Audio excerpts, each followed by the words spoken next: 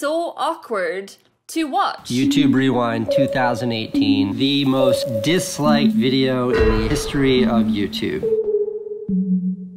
Yeah, um, no crap, YouTube. Hey guys, FierceScar here. Um, so today I'm just gonna be really talking about um YouTube Rewind 2019.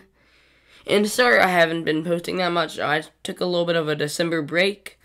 Um, but I will be posting more. And also Merry Christmas or Happy Hanukkah or whatever um tradition you celebrate. Happy holidays. Um, but let's just get right into the video. So first of all, um, I mean I like the intro.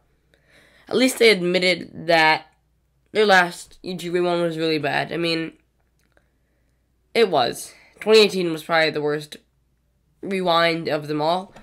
And but this year I feel like might be a second because in the past years they've um they included the creators who've done the best throughout the year without making it cringy like they did last year.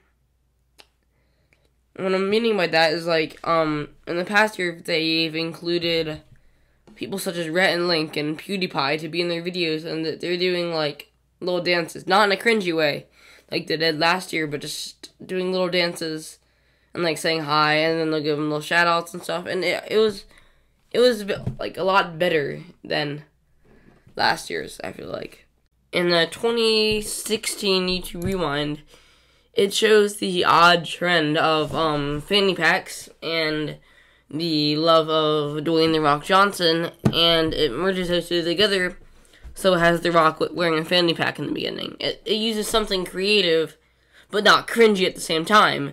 So then, it, um, it then has, like, them, um, the or celebrities, um, and, like, in fields and stuff, and, I mean, it, it is a little bit cringy. And it has, like, the pause challenge, and, not pause challenge, the, um, it just has the freeze challenge or whatever it's called. You know what I'm talking about. 2016. Um, but it has that. I mean, it's showing the trends of 2016 without being weird, like I said. And I, I honestly appreciate that way more than I mean I, I like I like to rewind when it could be something good to watch without having to worry about something being really not good to watch, not fun and enjoyable to watch. And when the old rewind was, I mean, not necessarily in your favorite thing to watch, but it was something you could watch with something you could watch without having to worry about it being weird and just not enjoyable. You know what I mean? It used to be watchable. You can say that. It used to be much used to be much better than it is today. So I feel like if YouTube were to bring it back to its older ways and have it like the old format, I feel like it would make the YouTube Rewind so much better. And that's my opinion on the YouTube Rewind. Um, thank you for watching, guys. Once again, sorry for not posting as much um, over December.